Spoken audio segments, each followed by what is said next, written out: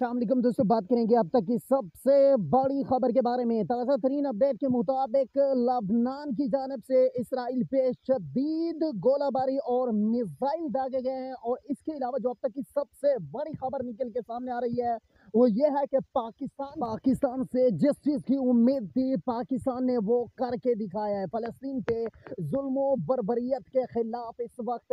पूरी उम्मत मुसलमान इकट्ठी हो चुकी है। ताज़ा तरीन सूरत हाल के बारे में आपको बताएँगे, जो कि अब तक की सबसे बड़ी खबर यह है कि ईरान समेत तुर्की, पाकिस्तान, ईरान, लबनान शाम ने मिल मिलकर इसराइल पे हमला करने का ऐलान कर दिया है। ताज़ा तरीन सूरत हाल के बारे में आपको बताएँ तो रात गए लबनान की जानब से सौ से ज़्यादा मिसाइल दागे गए जबकि अब तक की सूरत हाल इंतहाई कशीदा है और ताज़ा और इस वक्त तमाम उम्मत मुसलमान इकट्ठे मिलकर इसराइल को सफ़ाई हस्ती से मिटाने के लिए मुकम्मल तौर पर तैयार हो चुके हैं।